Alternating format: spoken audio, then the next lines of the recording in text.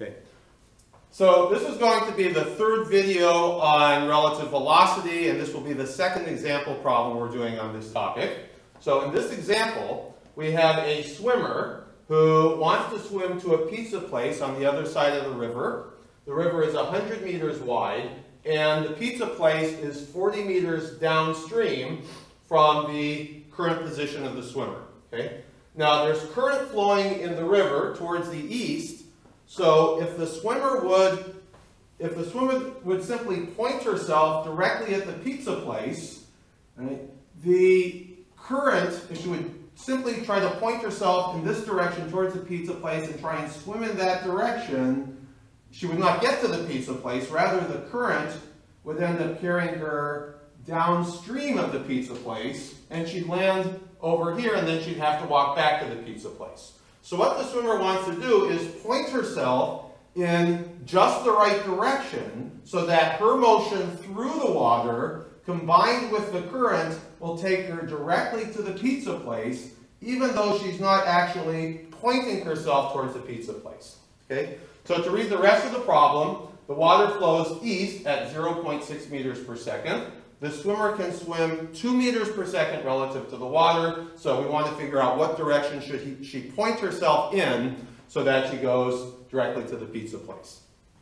Okay, so as with other problems on relative velocity, we have three things moving relative to each other here. We have the swimmer, yes. We have the pizza place, B. And we have the water W. Okay?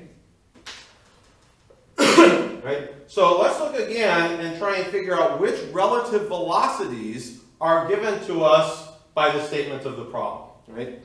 So first we have that the water is flowing east at 0.6 meters per second.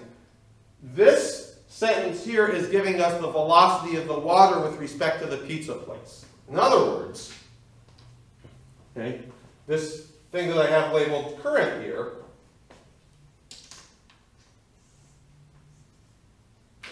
Okay, this vector here, this is actually the velocity of the water with respect to the pizza place. Okay, so this is the velocity of the water with respect to the pizza place, and the statement of the problem tells us that the magnitude of this is 0.6 meters per second.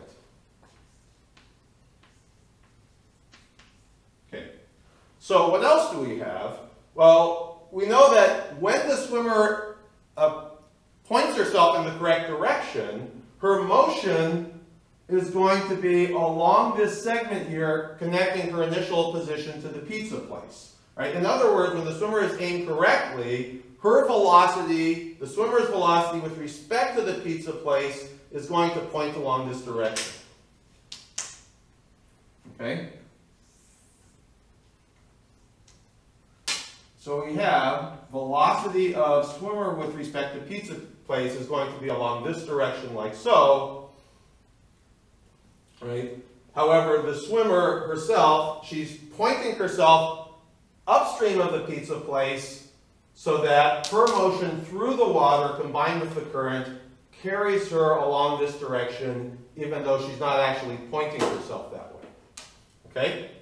So what we're trying to figure out here is basically the direction in which the swimmer points herself into the water. In other words, we're trying to find the direction of the uh, velocity of the swimmer with respect to, to water. In other words, what we're trying to find here is the velocity of the swimmer with respect to the water. Now we actually know already that the swimmer can swim two meters per second relative to the water, right? So the speed of the swimmer with respect to the water, we already know that's two meters per second, but we want to know the direction at which the swimmer is pointing herself into the water. We want to know the direction of this vector here. okay, so we have two relative velocity vectors drawn already. Velocity of water with respect to pizza place, velocity of swimmer with respect to pizza place, and we'd like to connect these two relative velocities with this third one. Okay? Now for guidance, we can go to the sandwich rule over here, right? Sandwich rule over here, if we just take it as a relationship between letters, um, velocity of c with respect to a equals velocity of c with respect to b plus velocity of b with respect to a, right? In other words, as I said in the previous videos, you take the c and the a, you open them up, and you drop in a couple b's. So what we're doing here is looking for a relation between these three relative velocities, which is consistent with the sandwich rule. Okay, so you might want to pause here and see if you can figure out such a relation between these three relative velocities on your own before proceeding with the video. Okay, so here's how this is going to work we have velocity of swimmer with respect to pizza place. Right? Let's apply the sandwich rule to this. So we have velocity of swimmer with respect to pizza place equals velocity of swimmer with respect to water plus velocity of water with respect to pizza place. Okay, so this is the relation between those three relative velocity vectors expressed as an equation, right? In other words, if I take velocity of swimmer with respect to water, that's what we're trying to find, velocity of water with respect to pizza place, and do a vector addition with those, they're going to add up vectorially to velocity of swimmer with respect to pizza place. Okay, so let's actually start drawing the relative velocity vectors and see what that's going to look like. Okay, so first we have velocity of swimmer with respect to pizza place. Let me just take this vector and copy it over here. Okay.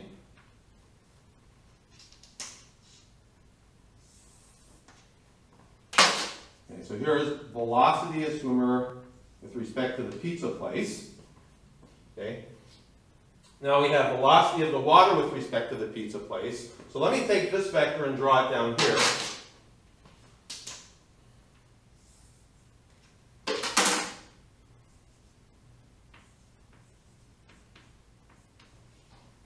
Okay, so there's velocity of water with respect to pizza place.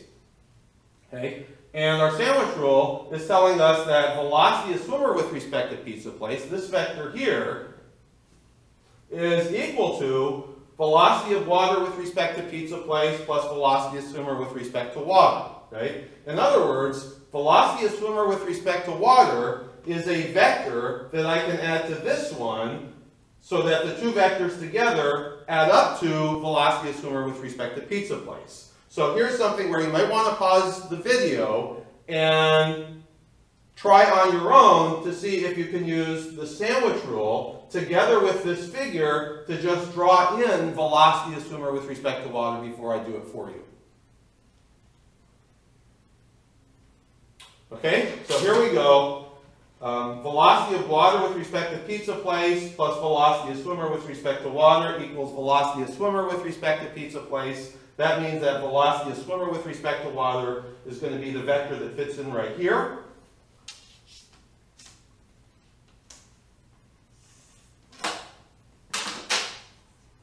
There's velocity of swimmer with respect to water. And if you look at this vector, notice that it's angled upward more sharply than velocity of swimmer with respect to pizza place, which is what we would have expected from the original figure, right? Velocity of swimmer with respect to pizza place is here. Velocity of swimmer with respect to water is a vector which is angled upward, or northward actually, more sharply, so that when the swimmer points herself like so, the current uh, ends up carrying her directly to the pizza place. Okay? Now, you can see that these three vectors together make a triangle. So we're going to use some geometry to solve this triangle. All right, so what do we know about the triangle? Well, we know two of the sides, right? The velocity of the water with respect to the pizza place, that this vector has a magnitude of 0.6 meters per second. Okay? Okay, so come in here and put 0.6 meters per second. Okay, so that's the uh, magnitude of this vector. the given information tells us that the swimmer moves through the water at 2 meters per second, so we have the magnitude of this vector as well.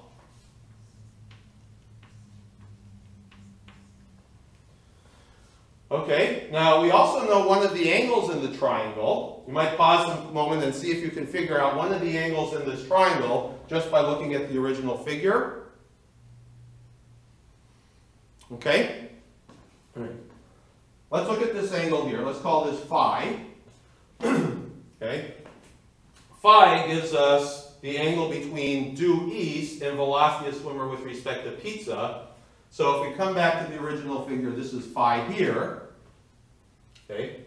And then by alternate interior angles, this is phi as well. Okay? So from the figure, we can just say tangent phi is 100 meters divided by 40 meters. Okay.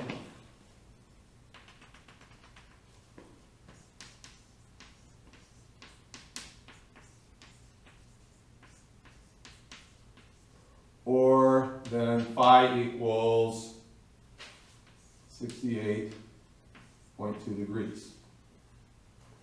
Okay? Now, how do we solve the problem from there?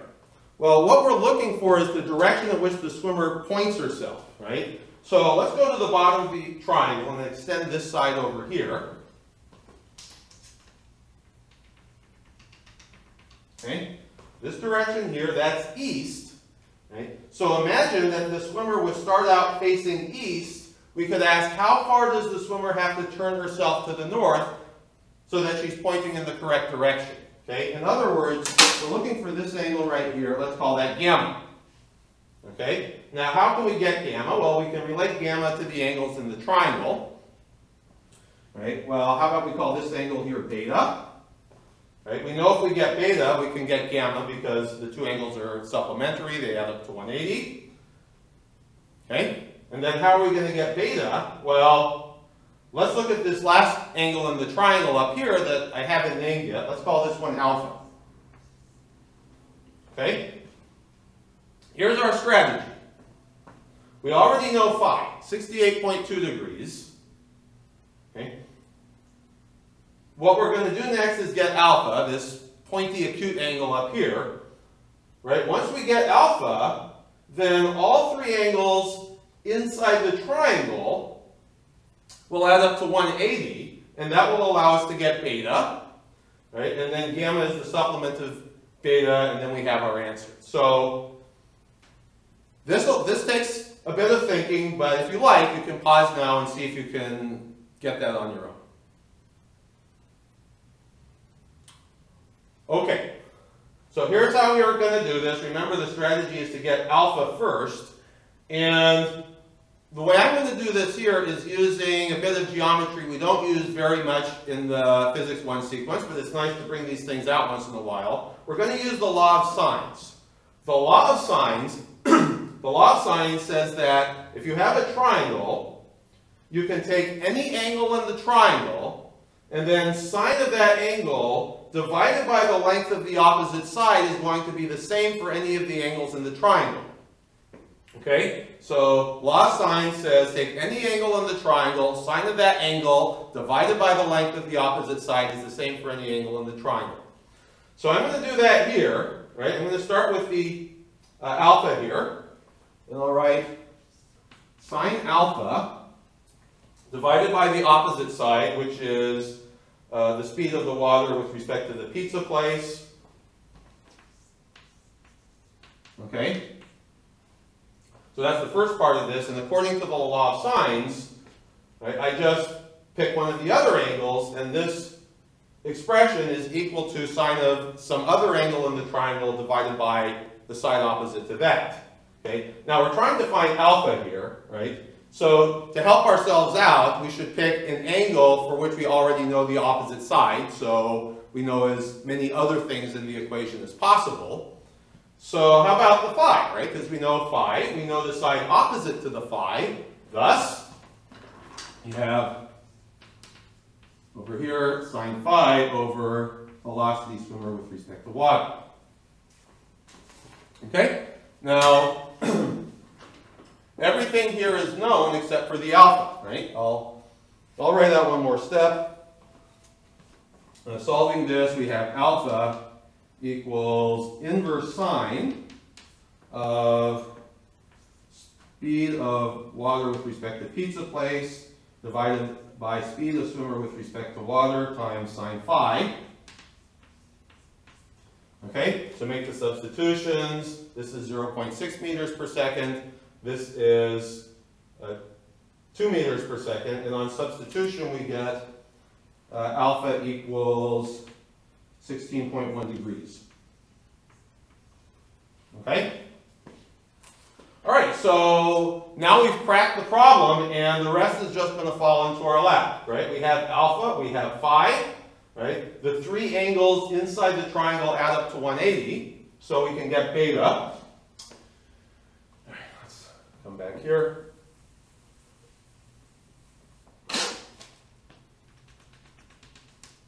Okay, so we have beta equals 180 minus alpha minus phi.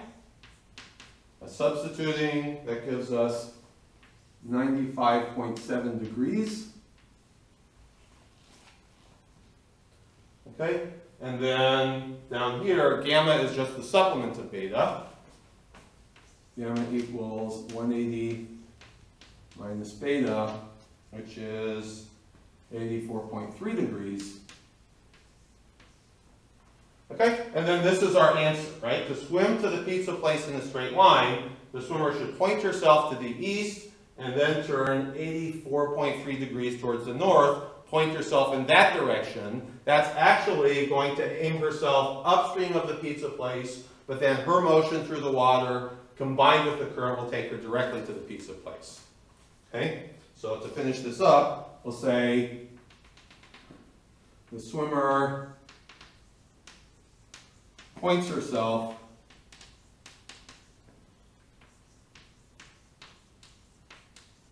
eighty-four point three degrees of east.